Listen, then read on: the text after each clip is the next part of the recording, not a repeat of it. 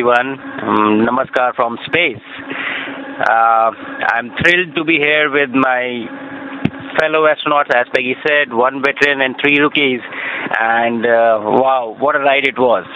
Uh, frankly, when I was sitting in the uh, capsule in Grace yesterday on the launch pad, uh, my only thought in my mind was that let's just go. After 30 days of quarantine, it was a feeling that I just wanted to go. You know, uh, excitement and all was, you know, probably far away. It was just the feeling that let's just leave here. But when when the ride started, it was something like you're getting pushed back into the seat. It was an amazing ride, and then suddenly, nothing. Everything silenced, and you were just floating. You unbuckle, and you were just floating in the silence of vacuum. It was it was an amazing feeling.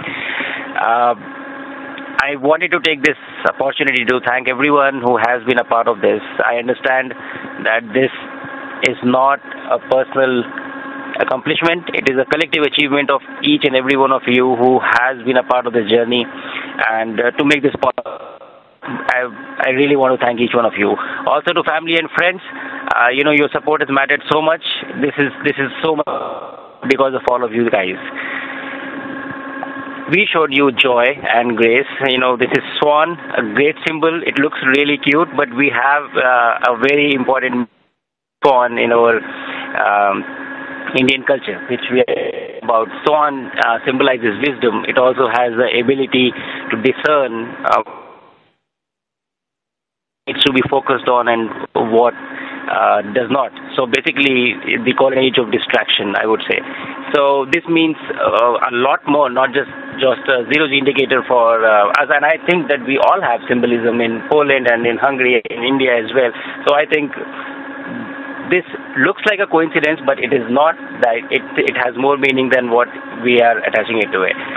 The capsule itself, Grace, has been very kind. I have been feeling, uh, I was not feeling very great when we, you know, got shot into the vacuum.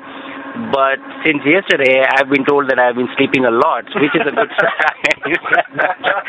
so I think that's a, that's a great sign. I'm, I'm getting used to this quite well, enjoying the views, enjoying the entire experience, of learning like a baby, you know, learning the new steps, learning how to walk, learning how to control yourself, everything, learning how to eat, I think. So it's a new environment, new challenge, and I'm really enjoying this experience with my uh, fellow astronauts here and uh, it's good to make mistakes, but it's better to see somebody else do that too. So